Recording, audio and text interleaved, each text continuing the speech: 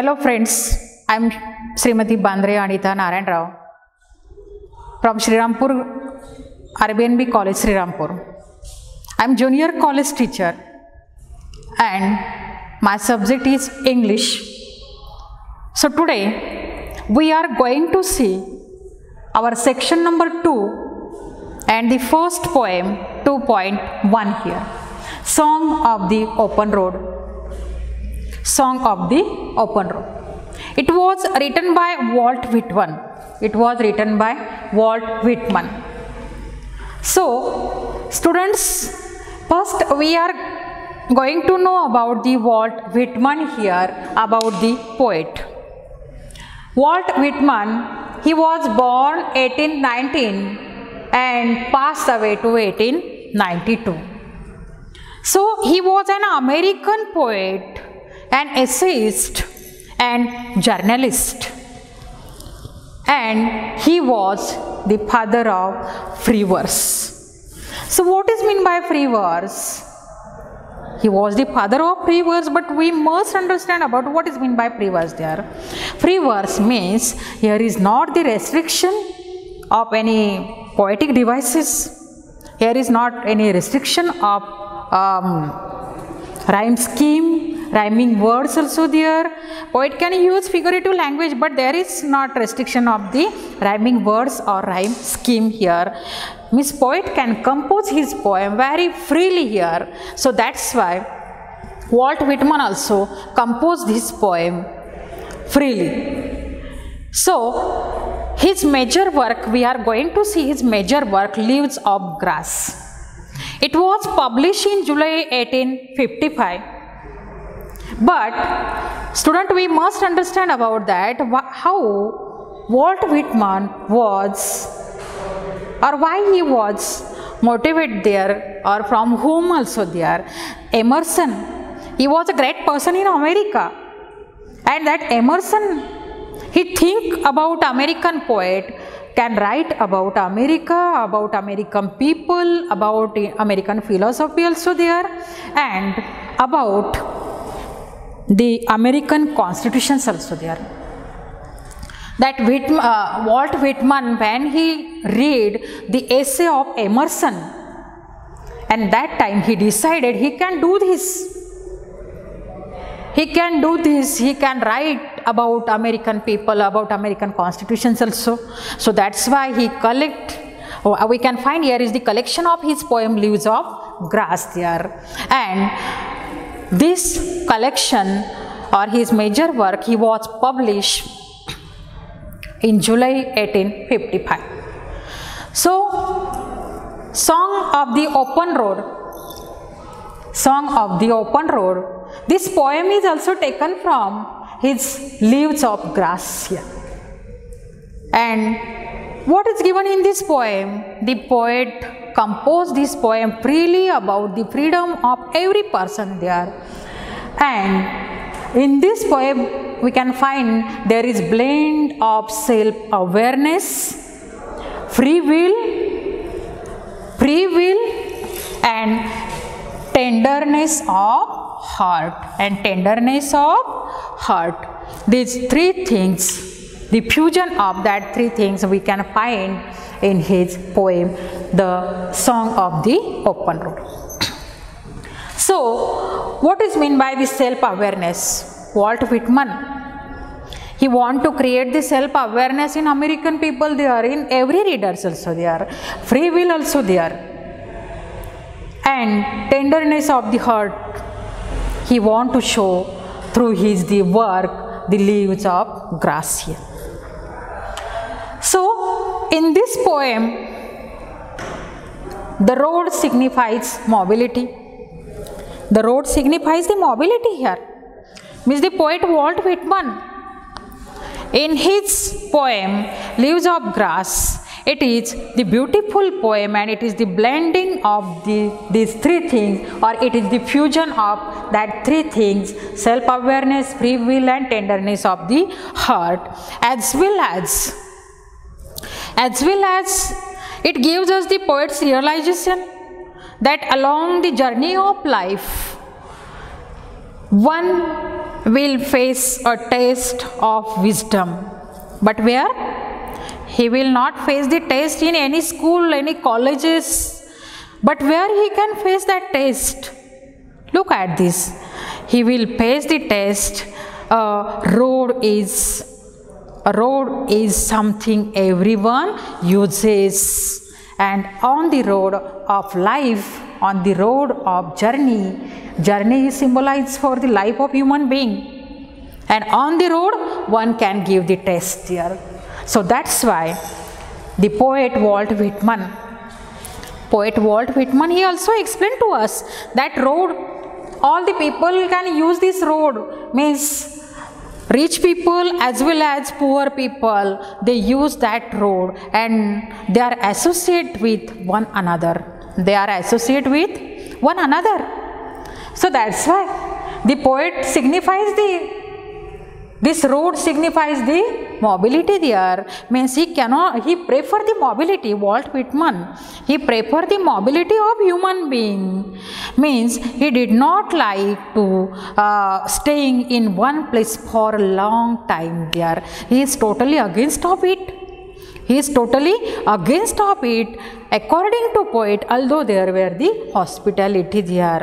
But don't stay for a long time in any place there means this poem road road symbolize the journey and it is the journey of our life. This poem is also the theme of this poem is freedom. It is the freedom. And then poem also say song of the open road the open road.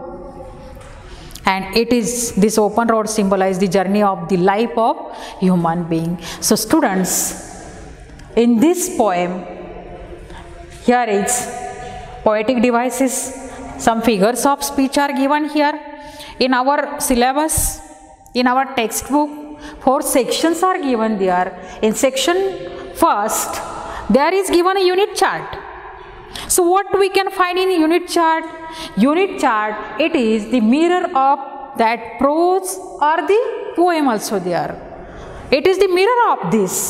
So in 2.1 when you see the unit chart you can find. There is also the given the in one uh, 2.1 there is given the poetic devices and some uh, figures of speech. For example first figure of speech is metaphor second paradox free verse and repetition. That uh, figures of speech are given in unit chart there. And through this chart all student can understand about this poem about this prose what is given there what is the value what are the life skills through this the poem also there. Means everything are given there so we must read this. We must read this chart. And actually it is the mirror of the poem also or prose also there. So anyway we are going to see the metaphor. What is mean by metaphor metaphor. It is indirect comparison between two things. Indirect comparison between two things. But there is not using as like so as words. There are not using that verse and we know about as like so as as as so as that words are used in simile that is simile. And this metaphor is different. In simile we can find there is di direct comparison in both things. But in metaphor in direct comparison in two things. Indirect comparison means students uh, you must understand about these examples also. And which things are indirectly uh, compare the poet also there paradox also as like the uh, antithesis also there. Free verse you know about that. I have already explained about it. Repetition. In repetition and alliteration both are slightly similar there. In repetition there is the repetition of the words. In repetition there is the repetition of the words and in alliteration there is repetition of the beginning sound or beginning letter of the words so that's why we, we must understand we must understand the definition of figures of speech every figure of speech we must understand about it. So let us start the poem here. Uh, see in first stanza, Song of the Open Road. Song of the Open Road. A food and light-hearted, I take to the open road, healthy free, the world before me the long brown path before me leading wherever I choose. Henceforth, I ask not good fortune, I myself am good fortune. Henceforth, I whimper no more, postpone no more, need nothing, need nothing.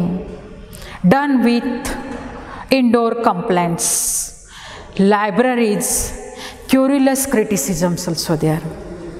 Strong and content. I travel the open road. I travel the open road. The earth that is sufficient.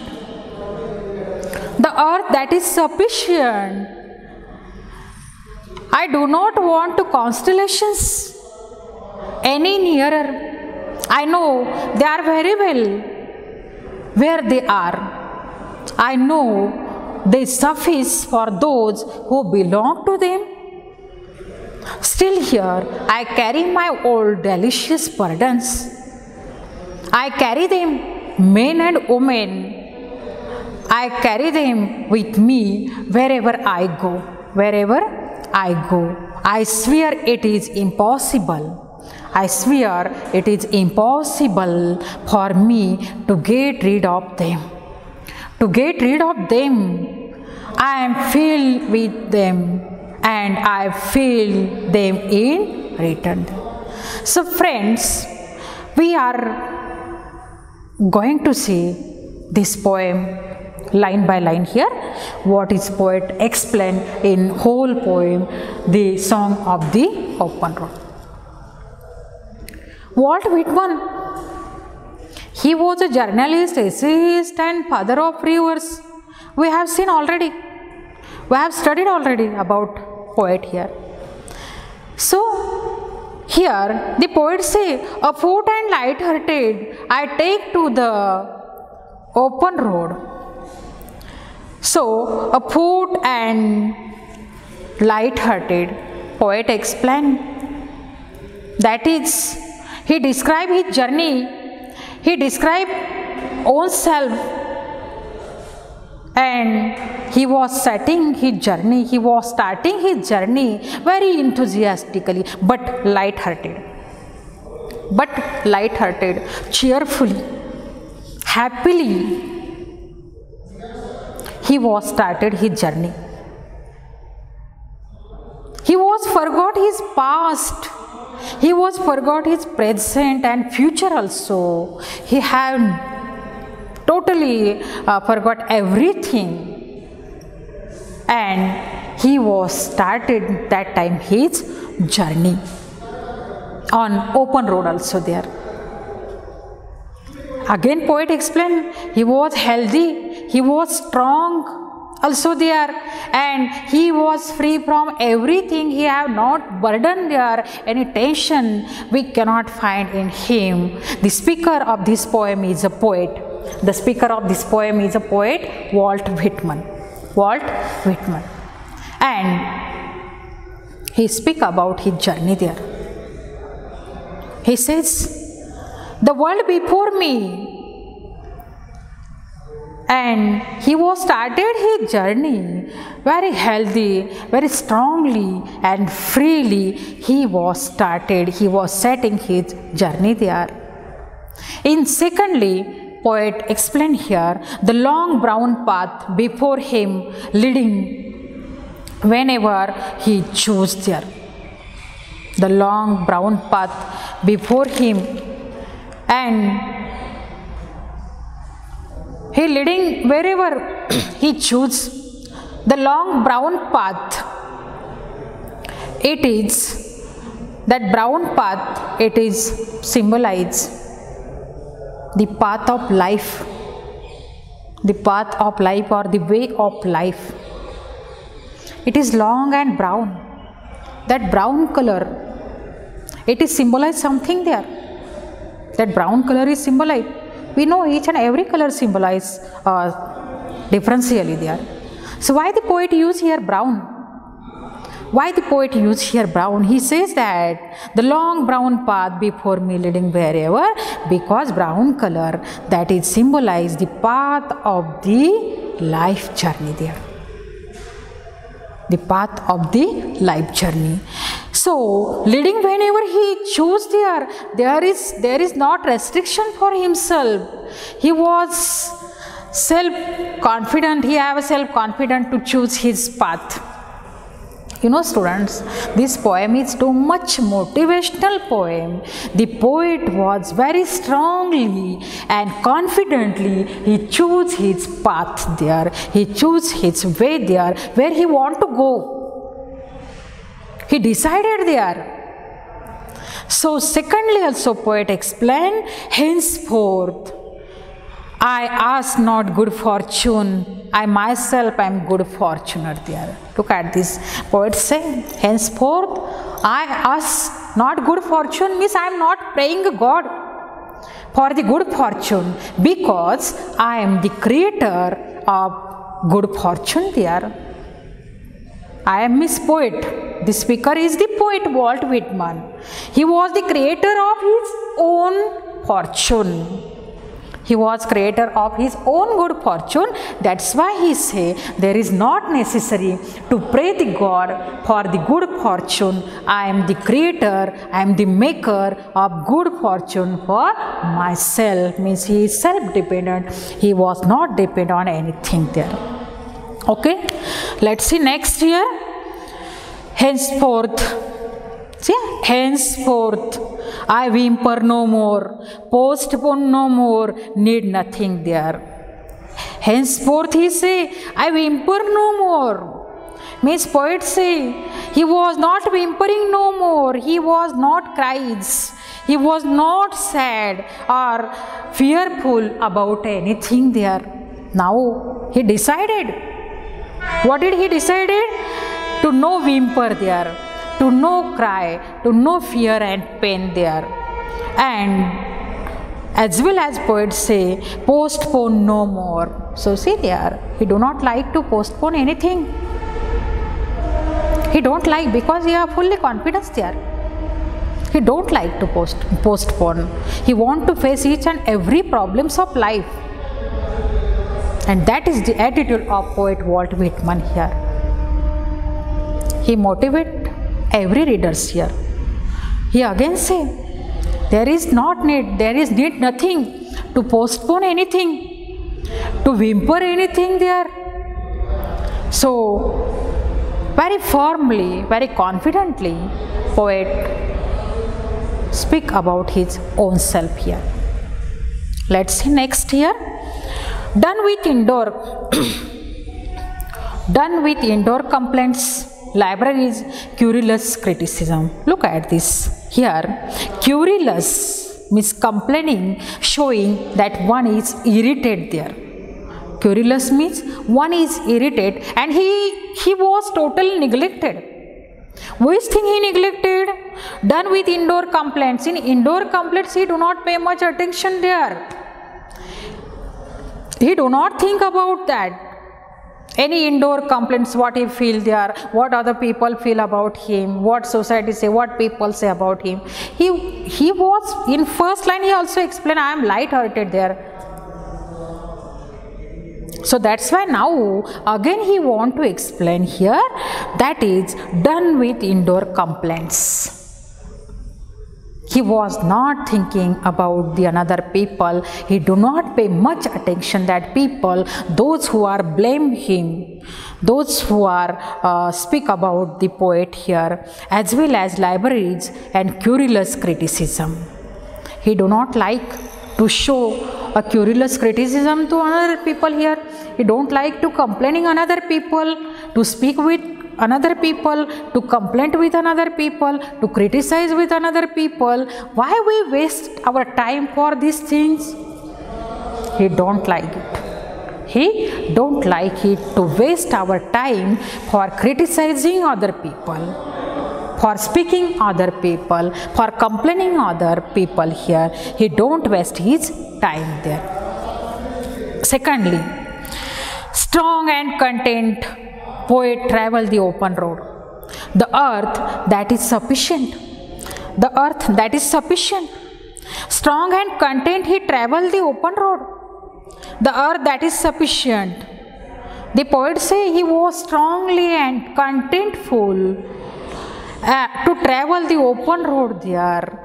In first line, he also explained he was healthy and freely there to traveling on open road here. Again, poet stress on that thing because again and again he explained he want to explain that things his own thought what he feels what he feels he want to express his thoughts so that's why he says, strongly and contentful he travel on the open road. And the earth that is sufficient for us, student. Earth is sufficient for us. We can do everything there. The poet also explained, the earth is sufficient for myself. When I want to go there, where I would like to go there. And his title is, you know about the song of open road here. He says that the earth that is sufficient for himself. Next i do not want the constellations any nearer. Look at this. The poet again explained here. He did not like he did not want to uh, that the constellations any nearer means influencing influential group of people he do not like to go at that type of people those who are influential those who are intellectual. And this type of people are he was totally avoided. He was totally avoided. He don't like to go with that people. And he don't like to go near that type of people. Why? Because he was freely there. He have a freedom there. And as well as he have a confidence where he want to go there. I know they are very well where they are. See the attitude of people, people uh, attitude of the poet. He was not rejected everything. But even though he was attached also he says i know they are very well where they are and where they are, where that peoples are, but there are they well. So see the point of view of the poet Walt Whitman here. He was not rejected, he was not neglected that people. Miss Constellations here. I know this suffice for those who belong to them. See, here is also the poet explain. He know the suffice. Suffice is the verb of the sufficient. It is the verb of the sufficient. So the poet explained, I know the suffice for those who belong to them. Whatever they have belonging, that is sufficient for themselves. That is not ourselves. That is for themselves. So that's why the poet he was isolated. He was a lonely person going to journey on the open road there. And here, even though in bracket form, look at this. Student we must understand about that uh, what is given in bracket form here. That is the um, in bracket still here poet explain here. Still here that is uh, i carry my old delicious burden still here i carry my old delicious burden Poet explain here a figure of speech which is metaphor. It is metaphor. The poet say I carry my old delicious burden. Look at delicious. He was not use this word deliberately. uh, sorry accidentally. He was not using this word accidentally but deliberately poet used here this word. That is not accidentally taken this word here. He um, he carry his old delicious burden here. He was able to carry that burdens and he was going to journey with his burdens with his burdens but say student that burdens poet say it is delicious for himself. It is delicious for himself. So then secondly that is uh, sorry uh, sorry what i say you metaphor. It is a delicious burden it is not metaphor but it is the paradox figure of speech. It is paradox. Means someone say burdens are there but how that burdens are delicious? How that burdens are delicious?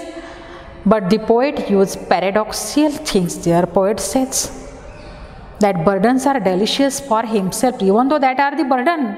But that burdens are also delicious. That's are um, good for himself there. And he is able he is empowered to for that the burdens what whatever be he have there. So secondly poet says i carry them men and women.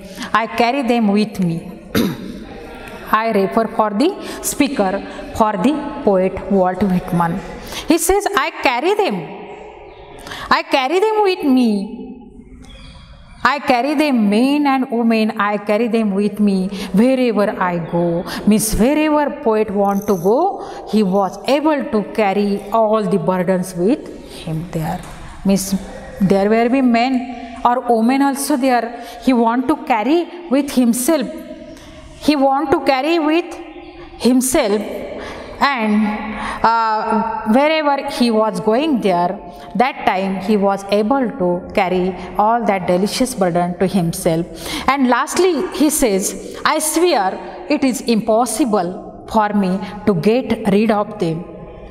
I am filled with them and I feel, I will feel them in return here. So lastly two lines. What did poet explain here? I swear it is impossible for me to get rid of them. Means poet he understand. He, he understand about himself. He was not free from that burdens.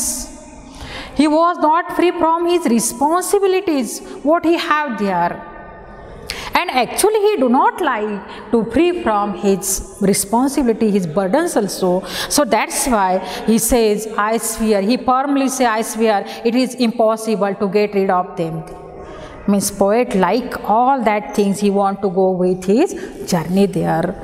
And he say i am filled with them and I will fill them in return. Miss Poet also like students, you must understand, poet also like to feel all that delicious burdens with him and he also explained he will fill them in return there. Means actually this poem is motivational for each and every students and readers also. It motivate it give the inspirations to all the students. So here is the end of this poem. Now uh, we are stop here. Okay thank you